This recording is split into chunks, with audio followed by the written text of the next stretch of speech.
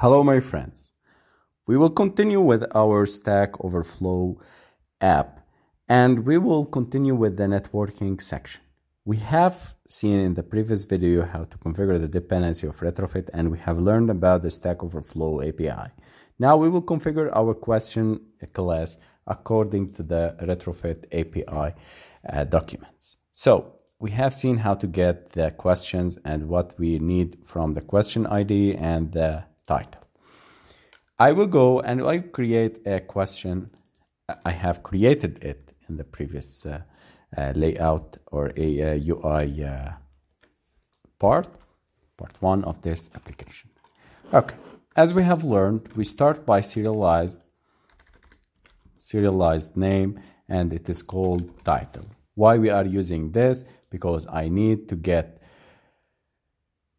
from the questions we are requesting usage of questions uh, get we are requesting the question id and the, the title. So it is named as title it is uh, named as title here and i will create a private final string and m title. So this m title would be serialized as title everything retrofit will get it and uh, it's named under title. It would be passed into m title. If you uh, learned about uh, retrofit and if you go back about retrofit uh, you see that you can remove serialized name and uh, but you should put it as the title uh, as in the json file but till now, I will use serialized name like this and serialized name like this question ID. Remember guys, it's case sensitive because we need to get it exactly like this. So in order not to uh, make any uh, mistake, just copy and paste them. Private final string I will call it MID. Okay, it is string here. Okay. What is the pro add constructor parameters? Okay, I will add the constructor. Add constructor parameters. I will select the two and it is done. So I have created a constructor of these. Now the getters. You can write them but I will save time. Okay? These are the getters. So we have configured our question uh, class. And we are now ready to go to another step. We are going to configure the other classes and interfaces. Now I need to make an, uh, a class that it is a response schema. So since we have uh, many uh, questions that would be displayed in the list at the main activity. So when the user uh, open the app, a list of questions would be fetched using retrofit. So I have made a question model. This is question uh, model class. And I need to create a new class called the question questions list response schema. This is a class that would fetch the data in items array. So if you scroll up guys, you see that there is an array of name items. I need to fetch and tell the retrofit that, hey, retrofit, everything that it is fetched in JSON and it is named items, I need to put it in a questions list response schema and then fetch these items into questions. I think that it is uh, more complicated, but don't worry guys. If you want to learn more about retrofit in more and more details, please go back to the uh, retrofit course and you see tons of videos uh, talking about this topic. So, uh, go back to our course and uh, on YouTube channel also. You can take many uh, retrofit uh, videos. Till now I need to make it a serialized name and it is called as I told you items. What is the name here? It is named items. So private final list of questions. Of question. Uh, questions. Okay. Public questions list. List response. I'm making a, a constructor for it and passing the generic type it's called question and questions. And m questions equal to questions. Okay? It's very simple guys. Just making here also a getter. Get questions. Get questions. Okay? So this class is uh, we have made it because we have an array of objects that is called items okay? So if you need to learn more about the parsing JSON using uh, retrofit, you can go back to section 18, JSON and retrofit uh, API. You can scroll down and learn more and more uh, about fetching single, multiple, uh, nested, and everything. So, and you can build many, uh, many apps using the API. And if also, if you want to go to our YouTube, you are very welcome, and to subscribe to our YouTube channel also. Uh, and this is the retrofit tutorial parsing JSON nested object that we uh, have used in this uh, class. Okay, so as I told you, the items array array of objects and we are uh, going to get an object from this array which is called id and the title of the question. Question id and the title of the question. Okay? So that, uh, this is in a very simple way back to our uh, api questions and get I will remove this. And you see guys, I told you that there is a link here that we are going to use. I will copy this and I will go to um, our Android Studio and I will make a new interface, a public class. I name this interface, selecting interface, and I will name it as Stack Overflow API. So you need to make the API. Okay, this is the interface.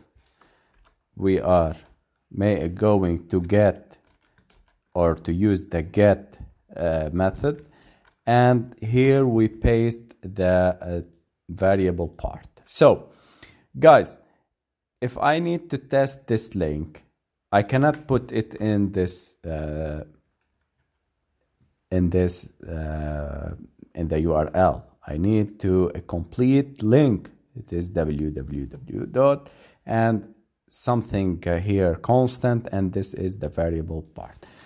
Again, guys, I will put this in the get for now. I will remove 2.2 and keep the questions and tell flow and I will make a call for retrofit passing into it a type of questions list a response response schema and last active active questions I will get last ac active questions oops questions and I will make a query here. This is a query. this is a query and I will pass page size and integer page size. Okay? So guys I have made this in order to get the page size. So this is the variable page size. You can pass page like page page number and you can put it here. One it is like this it will add automatically for the url a uh, page here okay? But till now i make i'm passing a page size equal to one or whatever you want.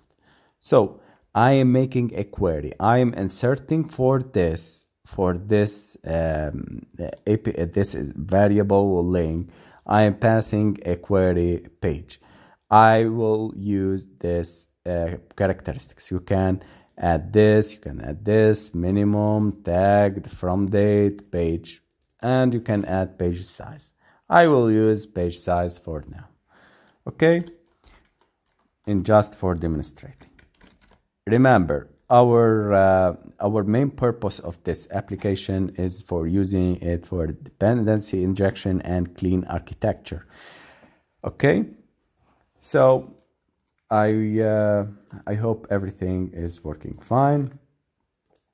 Um, let me go back to Android Studio to the list activity, and we have configured other uh, interfaces.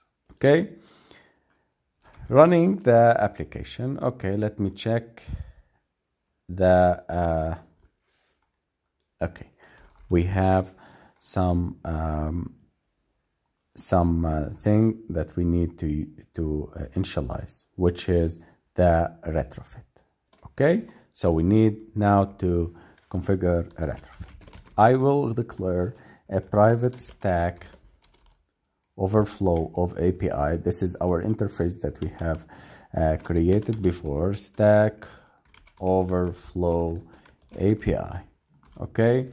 And i will make a call here private call call. I will create a question question questions list response schema and it is called mcall mcall okay? Okay. And this I import it importing class. Remember guys to import the correct uh, package okay? It is importing the retrofit.call okay? So everything will work fine if you uh, add ev uh, everything in correct place okay? I will implement here implements callback. I will add on another line and callback. Callback, I will pass questions list response. Questions list response. List response schema. Okay? And here, let me configure and initiate the retrofit configuration. Initiate retrofit by making a retrofit retrofit equal new retrofit dot builder and base url and i will make a new class called constants constants constants I will name it as y constanty constant. Constant. Let me make it as constant. And base URL okay. I will add converter factory using JSON, our older friend Gson factory dot create and dot build. Okay. M stack overflow equal retrofit dot create. And we are creating the response using stack overflow API stack uh, stack overflow API dot interface dot class. Okay. I will create a new class here called instance. Okay? So I have to create constants okay? In the class I will import the class. So if we scroll up we need and we see that it is importing the class. Or because it is in the same package it is uh, solving the error uh, automatically